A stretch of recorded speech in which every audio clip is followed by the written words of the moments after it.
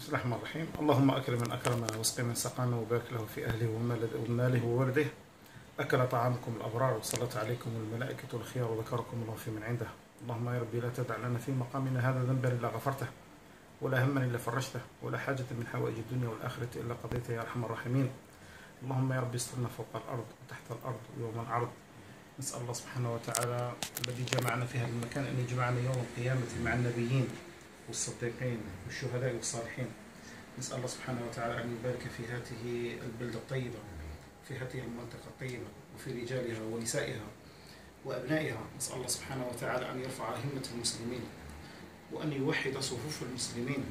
اللهم يا ربي إنا نعوذ بك من الشقاق والنفاق والنفاق وسوء الخاء نسأل الله سبحانه وتعالى قائلين اللهم يا فالق الحب والنوى اعطي لكل امرئ منا ما نوى. نسأل الله سبحانه وتعالى يبارك في اخونا والله يشفيه ويعافيه قائلين كما قال النبي صلى الله عليه وسلم اللهم رب الناس اذهب البأس أشفي أنت